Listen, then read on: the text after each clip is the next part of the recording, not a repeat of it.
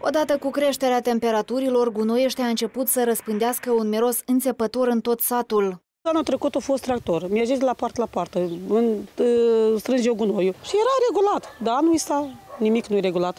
E ca așa cu gunoiul în sat, da. Am râpă și dacă zau în râpă, vine și pune strafă, dar eu de unde, dacă n-am un alt duș, ce să fac? Nu sunt de acord tractoriști cu leapa care o strânge din sat, cred că e puțin. E vor leapă mai bună, da.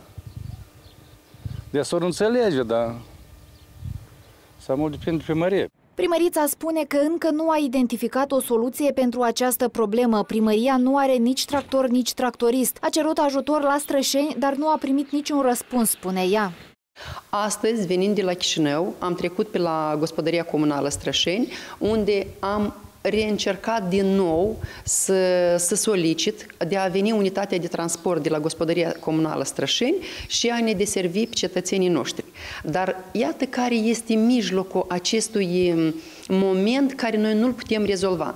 Nu toți cetățenii doresc să, să plătească aceste servicii. În timp ce primărița afirmă că a bătut pe la ușa șefilor de la raion, aceștia susțin contrariul. Noi am discutat cu ea pe telefon câteva ori, dar doar pe telefon. Întrebarea nu a ajuns la un fin. Să mergem la fața locului să vedem cam cât e volumul, cât avem de serviciu, dar costa asta și așa mai departe. Până când am stat de vorbă doar pe telefon. În ceea ce privește mormanele de gunoi de la marginea satului, primărița are o explicație. Acest gunoi nu este dus numai de cetățenii noștri. Acel loc nu este autorizat. Eu, de când am venit în primărie, am vrut să-l lichidăm. Satul Negrește are 1600 de locuitori.